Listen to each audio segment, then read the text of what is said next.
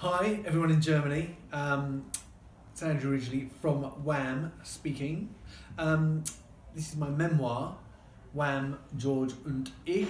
Um, I hope you enjoy it. Um, it makes a very good Christmas present.